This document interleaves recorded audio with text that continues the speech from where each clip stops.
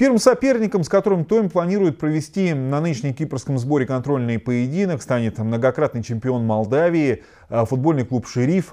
Кстати, Распольцы лидируют и в текущем национальном чемпионате. И еще одна любопытная деталь, которая, возможно, заинтересует любителей статистики. Том и Шериф в товарищеском формате встречались трижды за свою историю. А, по разу команды одерживали победы, и одна встреча завершилась в ничью. Конечно, вспоминать приятнее победные игры, поэтому сегодня мы предлагаем вам сюжет из нашей программы, датированный июлем 2013 года, в котором мы подробно рассказывали о матче, состоявшемся на красавце стадионе «Шериф» в столице Приднестровья. Играть на такой арене, конечно же, значительно приятнее, нежели на тренировочном поле, тем более, что и газон на центральной арене спорткомплекса «Шериф» самого высокого качества, как, впрочем, и вся остальная начинка. 16 июля «Шериф» э, стартует в очередном для себя розыгрыше Лиги чемпионов. А на этом стадионе э, Тираспольский клуб будет принимать э, чемпиона Черногории, клуб «Сутьеска». И этот матч, матч с Томи, он станет тренировочным не только для команды «Шериф», но и для всех служб стадиона. Сегодня здесь будет происходить так же, как 16 во время матча Лиги чемпионов. Здесь побывали известные европейские команды. Сравнительно недавно в рамках предварительного этапа Лиги чемпионов Шериф играл с Марселем и Киевским Динамо. Теперь эти раздевалки запомнят и футболистов Томи.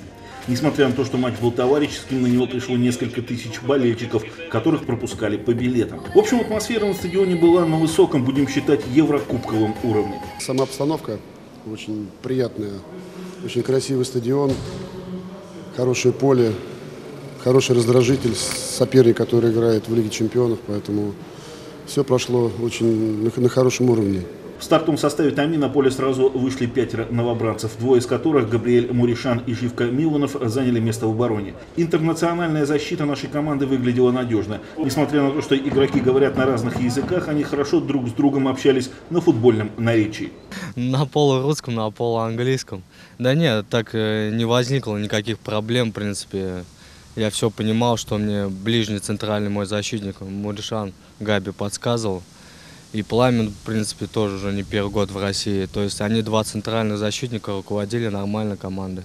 Другие новички Кирилл Панченко, Михаил Комков и Максим Астафьев, которые пока в нашей команде на просмотре, также выглядели уверенно. Однако первым удалось отличиться представителю Старой Гвардии. На 14-й минуте после передачи Павла Голышева Валерий Сорокин неотвратимо пробил в дальний верхний угол. Голкипер шерифа Георгиев до мяча дотянуться не сумел. Спустя 4 минуты томичи свое преимущество увеличили. Вновь Павел Голышев записал себе в актив голевую передачу. На этот раз э, Павел вывел один на один Максима Астафьева, который безупречно реализовал свой момент. Ну, если честно, я ожидал большего от соперника, от неоднократного чемпиона Молдавии. Ну, в принципе, я считаю, счет по игре у них практически не было ни одного момента. Там пару ударов издали и все. Вашек надежно сыграл. Первый раз нашему голкиперу пришлось вступить в игру на 25-й минуте. Хозяева поля получили право на штрафной, но Петр Вашек на опасный удар игрока шерифа мастер реагировал. Еще один опасный момент у воротами возник под занавес первого тайма. После подачи углового наш вратарь выбил мяч недалеко, но затем сумел свою ошибку исправить, забрав мяч после удара из пределов штрафной площади. Но в начале второго тайма вопрос о победителе фактически был снят. На 51-й минуте Евгений Башкиров, центр поля, на свидание с вратарем шерифа вывел еще одного нашего новичка Евгения Сидоренко. И футболист сборной Молдавии забил третий гол в ворота молдавского чемпиона. Мне игра понравилась. Честно говоря, немножко больше ожидал от наших соперников. Думал, что будет навязано э, борьбы больше. Все-таки чемпион Молдавии. Им сейчас в квалификационном раунде Лиги чемпионов играть. Э, и игроков они сколько я понял, купили недавно э, достаточно приличного уровня. Да. Э, но наша команда полностью доминировала, владела преимуществом. Три гола. Э, отлично, что тут можно сказать. В ходе матча тренеры обеих команд делали большое количество замен. Вышедшие на поле в составе Томи во втором тайме Иван Нагибин и Кирилл Погребняк на 87-й минуте чуть было не довели дело до разгрома. Иван ворвался в штрафную площадь шерифа и сделал передачу на линию вратарской.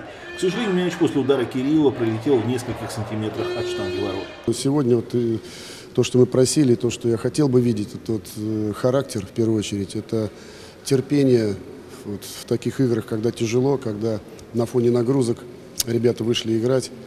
Вот. Я увидел э, характер, это самое важное.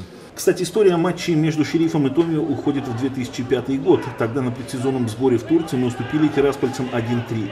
Спустя несколько лет еще одна встреча между этими командами завершилась в ничью 0-0, и вот теперь нам удалось взять реванш. Выигрывать всегда приятнее, пусть и в тренировочном поединке, тем более этот матч проходил в настоящем профессиональном оформлении.